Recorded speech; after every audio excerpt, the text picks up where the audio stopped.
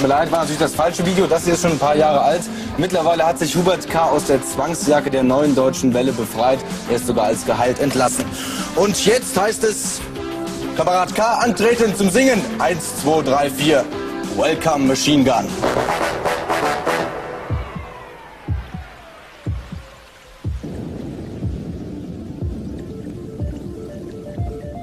Times have changed,